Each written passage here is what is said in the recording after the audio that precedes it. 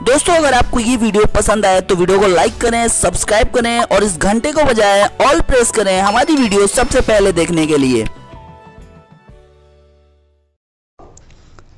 Hi guys welcome to my channel Javi education आज के इस वीडियो में हम लोग जानेंगे राष्ट्रीय military school classes class nine में कितनी सीटें अवेलेबल रहती है।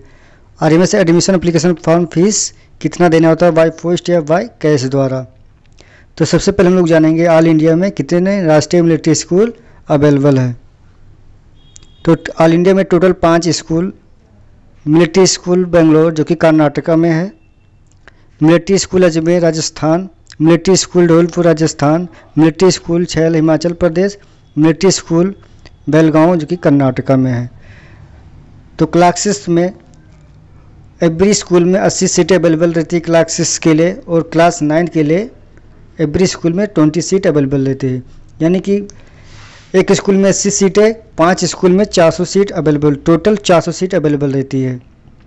और क्लास नाइन में टोटल 100 सीटें एक स्कूल में बीस, पाँच स्कूल मिला के सौ सीटें हो जाती है। इसमें फ़ीस कितना देना होता है? अगर आप बाय हैंड यानी स्कूल में जाकर फॉर्म लेते हैं तो जनरल के लिए छः सौ रुपये कैश या डीडी द्वारा दे सकते हैं। ओबीसी को जनरल में ही लिया जाएगा तो छः सौ रुपये फॉर्म के फ़ीस देना होता है बाय कैश या डीडी द्वारा। एस और एस के लिए तीन सौ रुपये। अगर बाय हैंड स्कूल में जाकर लेते हैं तो कैश या डीडी देकर।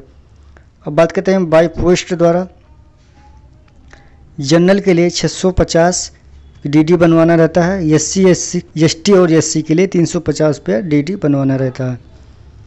तो बाई हैंड आप जिस भी स्कूल से फॉर्म लेना चाहते हैं, वहाँ स्कूल से जाकर फॉर्म ले सकते हैं, कैश या डीडी द्वारा। अगर वीडियो पसंद है तो लाइक ज़रूर कर दीजिएगा। चैनल को सब्सक्राइब करके नहीं रखें तो सब्सक्राइब भी ज़रूर कर लें। आपको सैनिक स्कूल और मिलिट्री स्कूल रिलेटेड मेरे चैनल के माध्यम से लेटेस्ट वीडियो मिलता रहेगा।